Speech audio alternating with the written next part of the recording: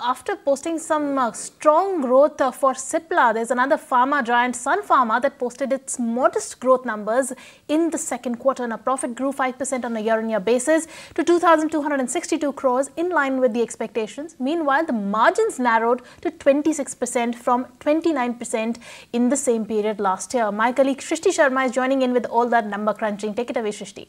So it's actually an inline set by Sun Pharma this time around. The street was not penciling in a great set of numbers this time, but the company actually flared to do better this time, wherein we have seen the revenue seen a jump of 2.1% sequentially, while the EBITDA is almost flat at 3,181 crores, and even the margins, while we were expecting at 26.8% this time, the company clocked in a margin of 26.1%, but the profit has come in almost in line, a little bit higher than what we were expecting actually, at 2,370 26 crores. So that's about the numbers. But uh, talking about the internals, then yes, there has been a disappointment from the US sales, which has been clocked at $430 million. Our expectation was at $460 million because we were highlighting that the lower gRevlimid sales is something that could impact the Sun Pharma earnings. We will wait by for more details. But India sales has given a support a lot, 11% jump on a YOY basis, higher than what we were expecting is the performance. The global specialty sales has seen a jump of close to 19%